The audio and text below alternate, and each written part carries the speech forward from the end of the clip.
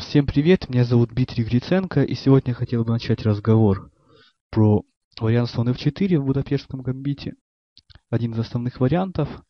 Э, итак, белый защищает пешку слоном, а не конем. И в некоторых вариантах ее э, и удерживают. То есть как раз гамбит полностью оправдывает свое название. Здесь основное продолжение это конь c6, нападая на пешку e5. Конь f3, белый защищает ее, и слон b4. Здесь у белых есть два варианта продолжения. Это конь bd2 и конь c3. Конь c3 э, в вариантах связан э, с как раз таки выигрышем пешки. То есть белые всеми силами защищают пешку e5 и не отдают ее. Э, и как раз я покажу сегодня одну из партий в варианте с конь c3. В данном случае рассматриваю партию Рубинштейн-Видмар. Черные играют ферзь e7 и белые ферзь d5, защищая пешку. Черные меняются на c3. И здесь есть опять-таки два варианта у черных. Первый это играют они f6 сразу. И после вынужденного размена, поскольку если не бить э, пешку f6, то черные сами заберут на e5, получат лучшую позицию, поэтому белые обязаны бить. Уходят ферзем и d6, то есть здесь возникает тоже довольно интересная борьба, и эту позицию я чуть позже рассмотрю уже в других партиях. А в этой партии последовал ход ферзь d3 ладья c1, защищая пешку. f6, то есть фактически опять-таки вынуждая черных, вынуждая белых э, взять э, пешку на f6, потому что, э, как видно, слон привязан к защите ладьи, и поэтому сейчас три нападения на две защиты, и еще одну защиту белые никак не могут обеспечить, поэтому они обязаны бить, если не хотят оказаться в худшей позиции. И ферзь d2 уходит из-под атаки э, коня. Черный играет d6. И белый конь d4. То есть, наверное, это был не совсем точный ход. Э, нужно было все-таки играть e3 и слон e2 или слон d3. То есть, все-таки развивать фигуру королевского фланга и э, обеспечить положение своего короля. Черный играет 2-0, то есть вводит ладью в игру, вводит короля из центра, центра и белый играет e3. И здесь после конь d4 выяснилось, что у черных э, все-таки преимущество небольшое есть, потому что ферзь не может забрать на d4 висит ладья на c1. В случае взятия ед будет ладья e8 и неприятная связка по линии е. И оба перекрытия линии е будут э, не очень сильными для белых. А в случае cd, как и произошло в партии, и хода конь e4, выяснилось, что ферзь э, обязан покинуть диагональ e1 a5 и затем после шаха на a5 или b4 в случае э, в партии был ход ферзь a5 и король белых лишается рокировки. Здесь ход король d1 тоже был возможен, но тогда опять-таки та же жертва ладья f4, что и произошла в партии, приносила довольно хорошую и перспективную позицию черных с стильной атакой. В партии последовал ход король e2.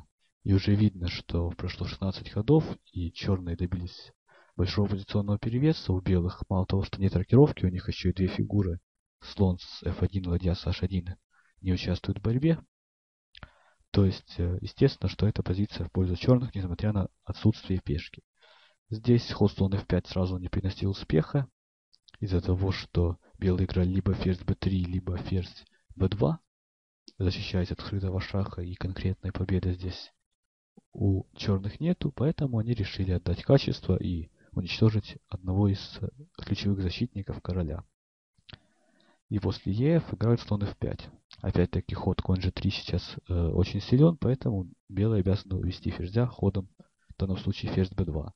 Ладья e8, черные вводят последнюю э, фигуру в атаку, у них уже 4 фигуры атакуют, а у черных у белых защищается всего лишь ладья и ферзь, и то ладья с поля c1 пока только косвенно. То есть э, все-таки, конечно же, такая атака обязана привести либо мгновенной победе, то есть мату, либо к выигрышу многого, многого материала.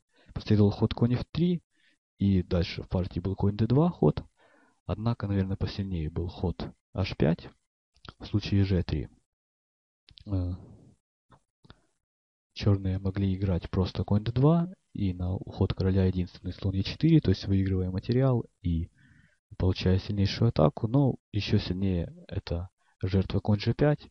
В случае не принятия жертвы и ухода король g2 черные ставили довольно необычный мат слоном и конем, а в случае более логичного хода fg все равно у белого короля большие проблемы.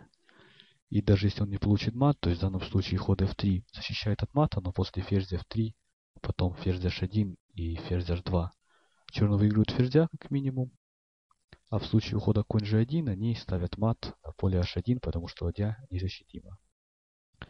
Э, также после хода h5 возможен ход э, и h3, э, то есть еще одна защита от хода слон g4, мат. Но тогда черный играет h4, грозит сейчас конь d2 с выигрышем ферзя, потому что у короля нет отходов.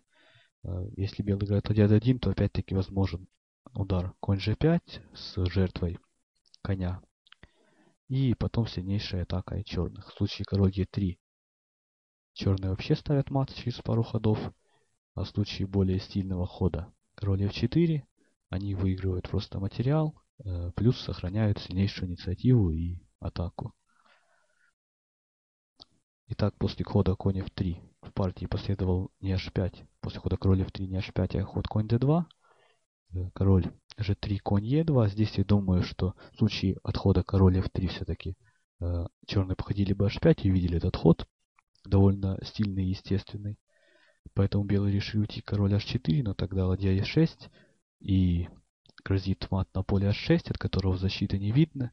Единственная временная защита это слон e2 с целью перекрыть линию h. Но здесь естественно, что у черных есть масса способов для победы, и один из них, самый простой, это отдать еще качество, и затем включить ферзя в борьбу, и они ставят мат на поле h5. Таким образом, как вы видите, ход слон f4 э, тоже довольно интересный, и у черных есть э, довольно интересные ответы. В данном случае конь c6 и слон b4 стандартные. И в случае, если э, белые играют конь c3 и в дальнейшем ферзь d5, то есть пытаются удержать пешку, у черных довольно сильная инициатива, и если белые немного замешкались, как в этой партии, они могут лишиться рокировки, либо же просто э, потерять координацию фигур, и у черных будет сильная атака, и как э, видно, что э, позиционный перевес все-таки важнее материального. Все, спасибо за внимание и до скорых встреч.